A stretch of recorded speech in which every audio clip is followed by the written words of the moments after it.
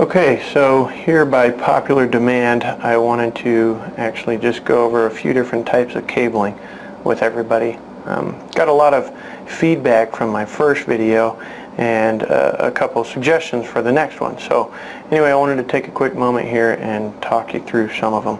Um, first thing, uh, I got to give a big thanks to both Northwire and um, Cobalt again um, because Cobalt went ahead and sent these pipe cutters to me.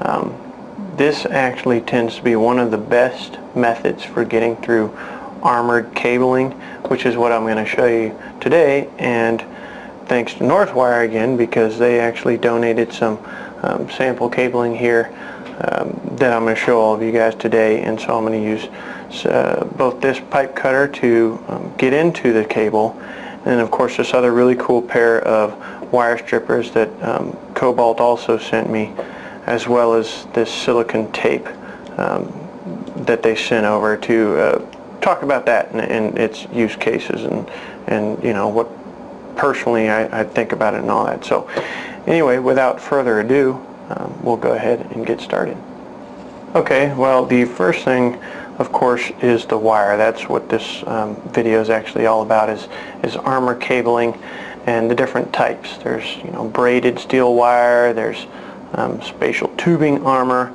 and so anyway, I've, I've actually got a couple of each, of each of those. I've got the aluminum interlocking armor here, uh, braided armor here, and then of course, just a, a generic version of, of what you'd call all this, which is plastic jacketed armor.